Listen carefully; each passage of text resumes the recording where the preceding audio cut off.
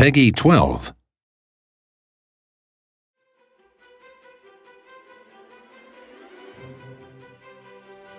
Victoria 3 is a grand strategy game that takes place between the beginning of the Victorian age in the 1830s to the early 20th century. The 19th century saw the expansion of railways, the invention of the telegraph, mighty steamships, new weapons of war, and, most importantly, new ways of viewing the world.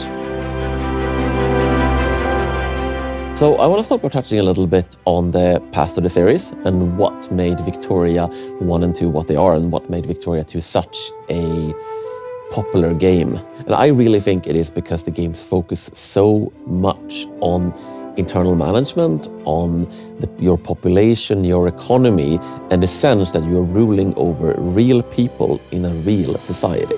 What's really important, what sets the franchise apart as a, as a series, uh, is the emphasis on uh, the political and economic management of your country.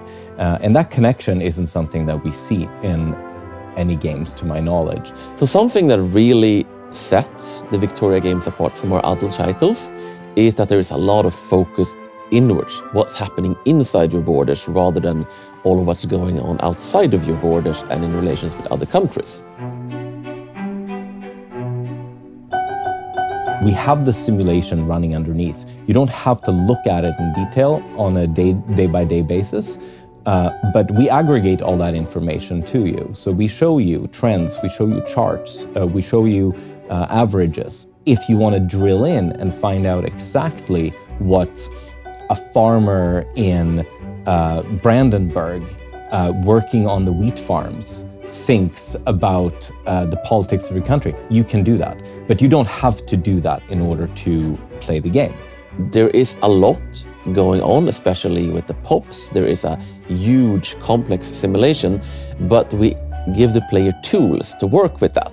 So for example, the leader of a million plus uh, population country doesn't ask each individual person in the entire population what they want. They interact through parties, through political movements, and through other such elections. And that's what we tried to recreate through the mechanics of Victoria 3. So this lets us have uh, really interesting laws as well that uh, can provide really powerful impact on your population when you do things like pass women's suffrage uh, or even laws that permit women in the workplace. These are uh, new dynamics uh, and new depth to the population system that we didn't have before. And that's really exciting to me to make sure that we actually simulate the world's population uh, and not just a fraction of it. When it comes to the player goals and you know what is the aim of a campaign, what are you trying to do? I think this is also where the society building aspects of Victoria really shines through. Because in a lot of games, the goal is more like, I want to take over this territory, I want to restore this empire, but it can be very different than inward focused games because instead it can be about, I just want to take this country and I want its people to have a good life. You don't have to have a grand ambition to go first. You can. We always want that. But it can be just as satisfying to just take what's there and build something, build your own little piece of the world just as you want it. So most of our economic model is built on the idea of supply and demand, right? Um, homo economicus. In Victoria 3, that isn't the only way that uh, pop units make their purchase decisions.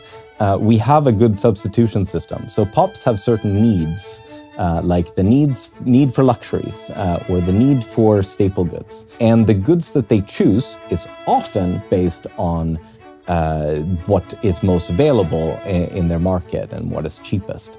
Um, but in some cases, entire cultures can become fascinated uh, with certain goods over other goods. So their need for uh, luxurious exotic drinks uh, might favor tea instead of coffee. If you don't provide it to them, they're going to get very upset. Uh, their wealth is going to drop, there's going to be more radicals, and you're going to have to deal with that. So underlying Victoria 3 is this very complex economic simulation. And that's what drives the game and even uh, its politics. One thing with Victoria 3 that has been a very stated design goal from the start is that we are not making a war game. We are not making a map painter.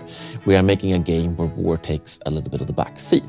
That is not to say that war isn't in the game, of course. It's a historical simulation of the 19th century, and the 19th century was not, unfortunately, entirely peaceful. So war, of course, happens. It can be a way to get things you want, but anything you can get through war, you can also get through diplomacy. Ideally, you should want to try to solve this conflict before it escalates into war. If it does escalate into war, maybe that'll work out well for you, but uh, a lot of your people are going to die one way or another. It's always best to try to avoid it if possible. We start the game in 1836, we end in 1936. One thing that was definitely happening there was uh, immense technological change and immense political change. Compared to previous eras in history, life could change rapidly in five to 10 years just from the result of a new invention. And that, of course, makes the inward aspects, the aspect of focusing on your people and their lives, that much more interesting. The 19th century is also a fantastic era for alternative history because there is so much potential for things to have played out differently, but also because it's the era that shaped our era. I think it's really exciting to get the sense of being able to look into the future of your campaign and imagine a different world right here and right now. Victoria is and should be a deep game with a lot of mechanics and potential complexity. And that's not something we want to change. But we have prioritized accessibility, not in the sense of wanting to streamline or just make the game simpler, but build you know, the interface, the tools, and the information that the player needs to be able to grasp and understand and eventually, you know, master all of this complexity. As armchair economists and politicians, we can sit and theorize. If this happens, then these knock-on effects would happen, and then society would be shaped this way. This game actually lets you play out uh, and test your theories. So while you have uh, people working in your textile mills, that doesn't just mean like, you know, plus 15 luxury clothes, happiness goes up. No, what it means is that you produce some more luxury clothes, the people buying luxury clothes are the upper strata of your uh, society. Uh, and their happiness doesn't just go up. What happens is the price of luxury clothes goes down, so their income will stretch higher. Their wealth will go up. They will gain more loyalists in their pop. That means their interest group will become happier and will support your laws more. So by expanding this textile mill, the knock on effect is that now you might be able to pass a law without the landowners interfering in your affairs. Um, and this is a sort of uh, long term thinking and, and creative solutions that we really want players to first theorize and then carry out and test the theory and see if there are any additional things that they didn't think about. What really, really excites me is just the opportunity to get the grips with all of these things, the ability to build a complex economic model where everything ties into each other, a game where the politics is not just a sideshow, but so core to the experience of the game, and a game where everything ultimately hooks back and you can look at your society and you can feel the decisions and changes made along the way. I'm just really excited to be a part of this project and the players who have been waiting for Victoria 3 for years and years and years, uh, I really hope that in the end, we will be able to provide you uh, with the armchair economist, armchair politician kind of fantasy uh, that you've been waiting so patiently for. So that was a little bit about the overall vision of Victoria 3.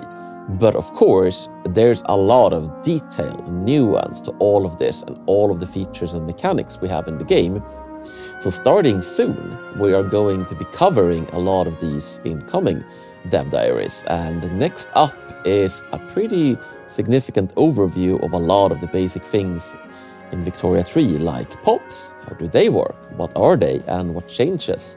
And what things have me actually made deeper since the previous Victoria games here? We'll be talking about buildings, capacities, and a whole lot other things.